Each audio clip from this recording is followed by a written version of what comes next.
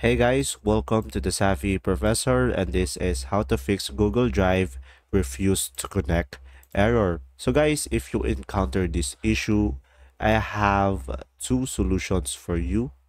So for the first one is try toggling the incognito on your web browser. So in order for you to do that, just click on these three dots over here and click on new incognito window and then from here guys just try logging in into your google drive.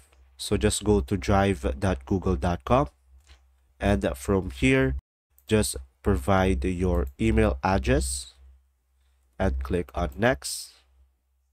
And from here guys just type in your password as well.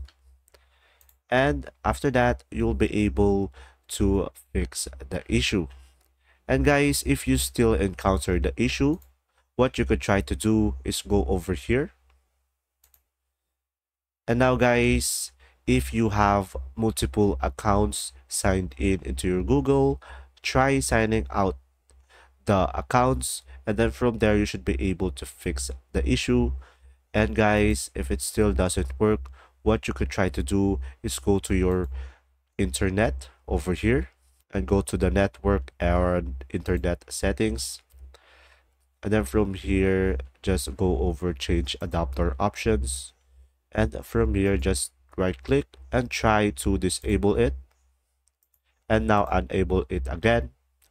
And then from there guys you should be able to fix the issue. If this video was helpful please like and subscribe. And thanks for watching. See ya